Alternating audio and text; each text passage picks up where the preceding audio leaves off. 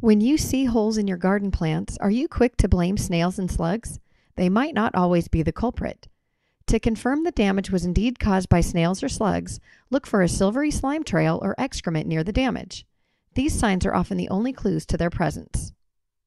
Several other pests cause similar looking damage without leaving the slime trails. Caterpillars often chew holes in leaves or fruit. Look for them near the damage or look for fecal material. Earwigs cause similar damage and are also frequently responsible for damaging soft fruit and young plants. Katydids may also feed on leaves or fruit.